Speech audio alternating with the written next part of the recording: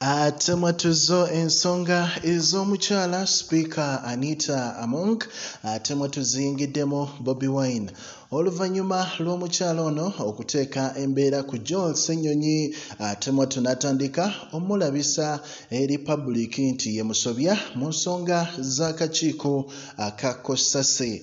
Bobi wine bukambwe obw'ekitalo avuddeyo n'agamba nti kino abaganda kye boogera nti okufuula ensonyi obusungu turning one's embarrassment into anger. N'agamba omukyala omukulu joel ssenyonyi emabegakaawo yavaayo n'atandika okuyita sipiika anita among ye atemwatu asobole okuba nga atandika okunoonyereza ku report.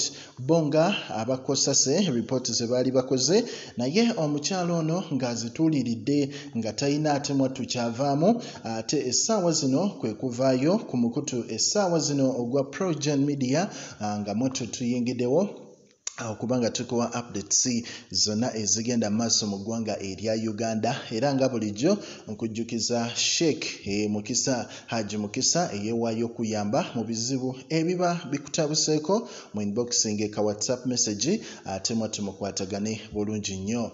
Jordan kata dubai saudi arabia uganda kenya tanzania yonna gye musinziira mbagamba muli big nnyo era mwebale kubanga ku mukutu kwe muli era nga kadde kamawulire ensonga zeeyongedde okukwata wansi ne waggulu omukyala sipiika anita among aba amutumye ate mwatubeerabidde okumugamba ebintu ebimu nti public oluusi ebeera ebimanyi. Naye nga ye omukulu bobi wine ayingidde mu nsonga zino n'agamba nti omukyala ono ensonyi azifudde obusungu ssenyonyi yamuteeka ku nninga n'amugamba reports ze tukuwa ate babambi sipiika nga toziggyaayo nga tozitebolinga mu fulo oba ku fulo ya paalamenti ebintu ate sipiika bye yalaba ng'atemwa tubamutyobodde ye kwe kuvaayo ate olunaku olw'eggulo akatambi nakakuwadde n'ateekawo embeera n'alaga nga atemwatu akakiiko ka kosase bwe katalina kye kakoze ate ng'era ke kabadde.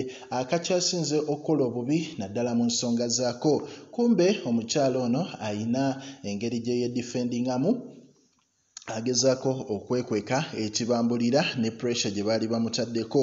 Era nga omukulu bobi wine yeeyongedde n'agamba nti uh, true to her character eh, the vindictive among is now witch hunting honorable uh, joel senyonyi for exposing her. Ti omukyala ono atandise okuyiga senyonyi olw'okuba nga yamulabisa.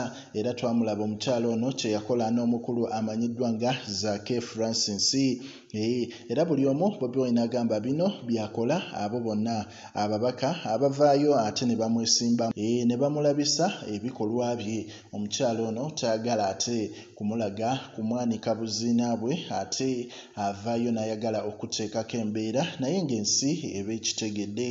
Progen media likinga commentinga era osubscribing tweyongereyo n'amawulire gaffe